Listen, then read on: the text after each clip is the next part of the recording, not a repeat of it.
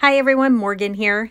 Today I have a review of the BaseCharge 1500 by BioLite. Boy, am I just so ever impressed by this power station. When I first got it, I was just like so giddy about it.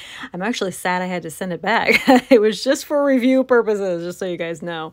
Uh, now, this is uh, super impressive. It has 1521 watt hour lithium ion battery. So that means it has 1500 watt hours, max output of 1200 watts and 2400 surge. It has AC, DC, DC barrel, USB A, USB C, USB CPD. It also has a wireless charging enabled top dock, as you can see here, which I personally love so that you don't have to take up a USB for your phone. You can just put it up top, you know, if you have a phone capable of doing that. Um, it has this great display, which I'm going to show off more. Um, in a few videos here, but it's just got this great display that just shows so much data. And I love the ones that show the percentage and then it shows everything on, um, I'm trying to get it close ups here, but it was too sunny. Um, but you can charge uh, from the solar in as little as four hours. Um, but of course, you can charge from your wall socket and various other ways um, besides just the solar panel. But this system is so impressive. Let's take a look. Okay, I wanted to see, this is my reverse osmosis system and I'm gonna plug it into here to see if I can charge it. Um, okay, so let me turn the display on. And of course you have to press the AC button in order to charge it. So let's go ahead and see.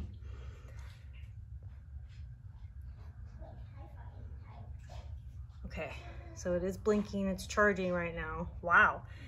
This reverse osmosis system, I'm gonna have this in both videos because this is pretty impressive to see that the amount of watts that it's taking is not that much. This is the watts out, which is going back and forth between 30 and 32.